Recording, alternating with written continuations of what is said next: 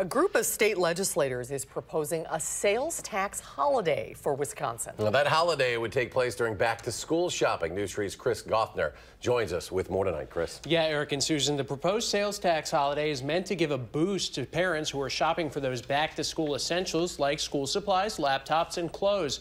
I talked to both a parent and a retail expert who say a sales tax holiday would be beneficial for consumers. Anytime you can save money as a parent, it's great. Back to school shoppers could get a boost come August if a sales tax holiday proposal passes the Wisconsin legislature. It would be over a two day period starting the first Saturday of the month. Wisconsin would join 18 states who already have a sales tax holiday.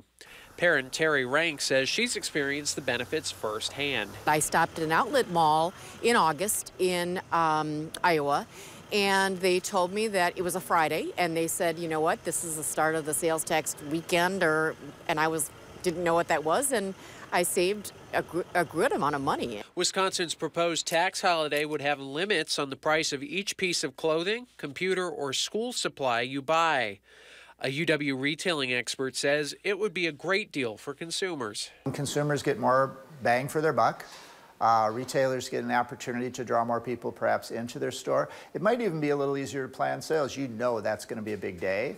Now, O'Brien says whether businesses would see a significant benefit remains to be seen. From a retailer point of view, they hope that they'll actually spend more because there's that discount involved. Um, that's probably the big question, whether consumers have enough confidence to take advantage of it or if they'll minimize their spending and keep the savings in their pocket. As for Terry Rank's time in Iowa, I actually spent a little more because I did find some absolute benefits from that.